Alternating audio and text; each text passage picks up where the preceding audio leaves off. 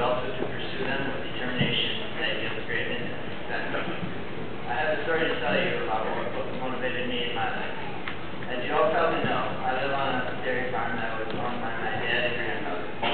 Five years ago, my grandfather was diagnosed with terminal cancer. In response to this tragedy, my father and the rosary frequently for him to get better. Well, one day I was driving a small tractor in our cow pasture when my front tires hit a large rock. The front of the tractor flew up in the air. I was, I knew the tractor was going to flip, but I was frozen in a state of shock, could not move my body.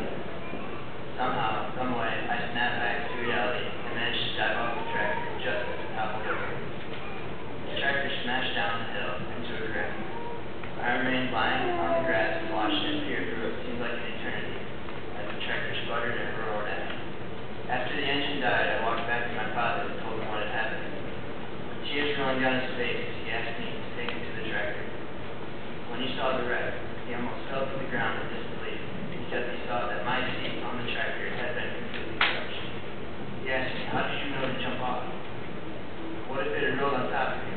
At the time, I had no answer for him. I couldn't explain what had caused me to react the way I did. Later, I learned that my father had been praying the rosary while I flipped the tractor.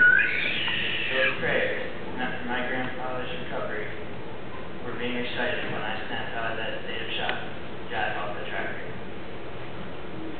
My grandpa passed away from cancer a little while later. After his death, troubling thoughts ran through my mind.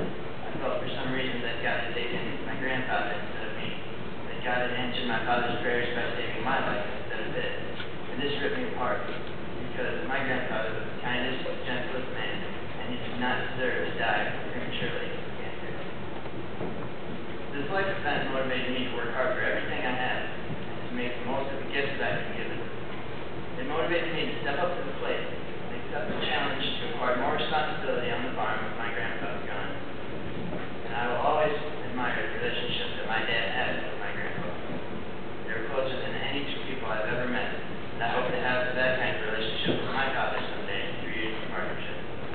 I spent my entire life trying to make my father proud of me, but I never did him enough. He has not only been a father, but a boss, a teacher, and a friend. I hope you all realize just how important family relationships are. But even more important is your relationship with God. You have all seen it flourish by, atten- by attending Beckman Catholic High School. I truly believe that God saved my life that day on the tractor, but I don't think I could have gotten off alone. Take a moment to think about your own future and how you are going to go about setting your goals and achieving them. What is it going to take to motivate you if you're not motivated already?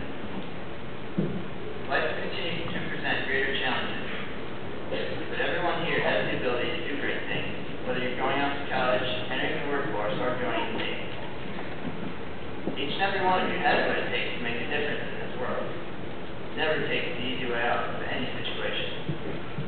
We are lucky enough to live in a country with a wealth of resources. But with that wealth comes responsibility. We can make things happen.